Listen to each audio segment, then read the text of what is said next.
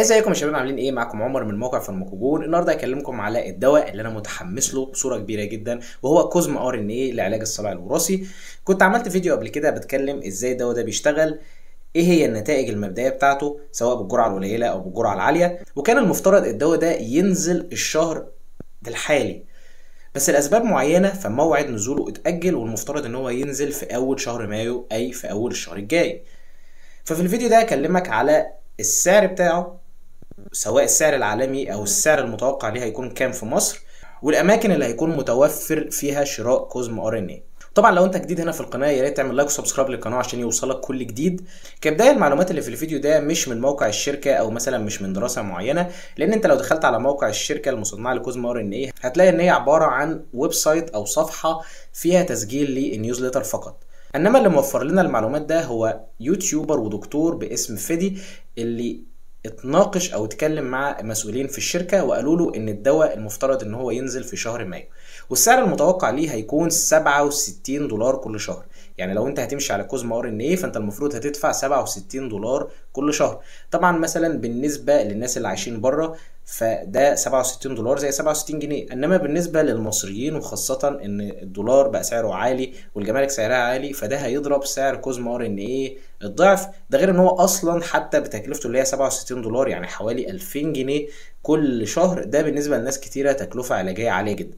وبرده في نقطة محيراني في الرسالة اللي اتبعتت لفيدي اللي هو اليوتيوبر اللي بقول لك عليه إن مندوب الشركة كان بيقول له إن الدواء المفروض إن أنت تستخدمه مرة كل أسبوعين.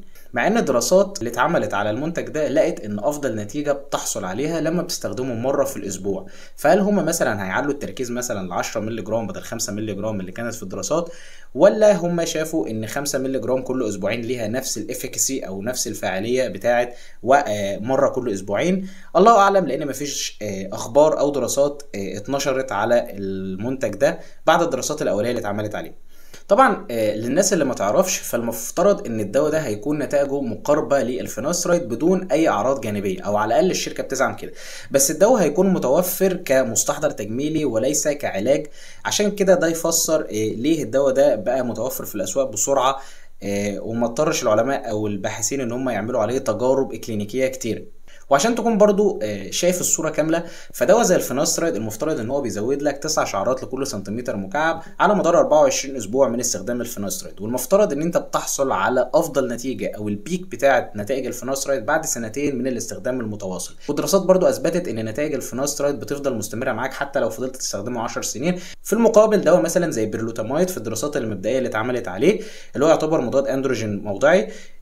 بيزود كثافة الشعر بمقدار 15 شعراية لكل سنتيمتر مكعب على مدار 24 أسبوع كفترة علاجية.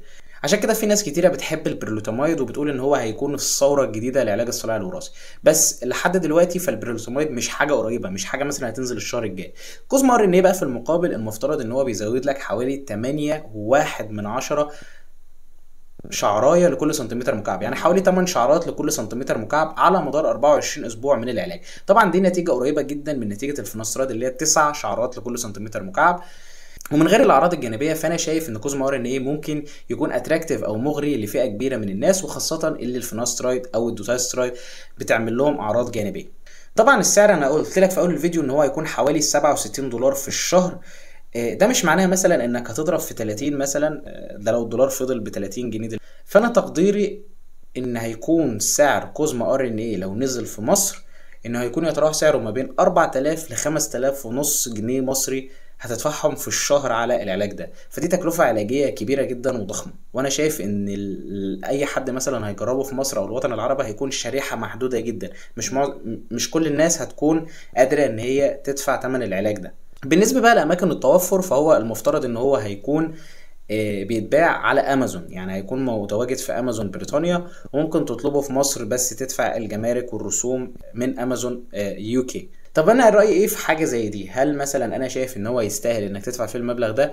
لو أنت مثلا في مصر أو في معظم دول الوطن العربي ولسه بادئ في رحلتك لعلاج الصلع الوراثي. فأنا شايف إن الخيارات اللي إحنا آه عندنا اللي هي الفينوسترايد والمينوكسيديل وال dermaroller آه والشامبوات اللي اتكلمت عليها في القناة هتكون خيارات أفضل ليك من إن أنت تروح تدفع فلوس كتيرة جدا في دواء زي ال CosmeRNA هو هيكون غالبا آه الأشخاص اللي هيشتروا المنتج ده الأشخاص اللي خايفين من الأعراض الجانبية من الفيناسترايد أو المونوكسيديل أو عايزين يجربوا حاجة جديدة زي حالاتي مثلا كده أو جربوا الفيناسترايد وأيا يكن السبب مش قادرين إن هم يفضلوا مستمرين عليه. فاكتبوا لي تحت رأيكم في الكومنتات هل آه لو CosmeRNA نزل في مصر أو في الوطن العربي بالسعر ده اللي هو 67 دولار كل شهر أو العبوة اللي ب 200 دولار كل 3 شهور هتشتروه ولا لأ؟ ولو أي حد إداني update عن استخدامه للمنتج ده فأنا هحاول إن أنا أشير لكم النتيجة على أسرع وقت ممكن على القناة. فما تنساش تعمل like و subscribe للقناة عشان يوصلك الفيديو ده أول ما أنزله.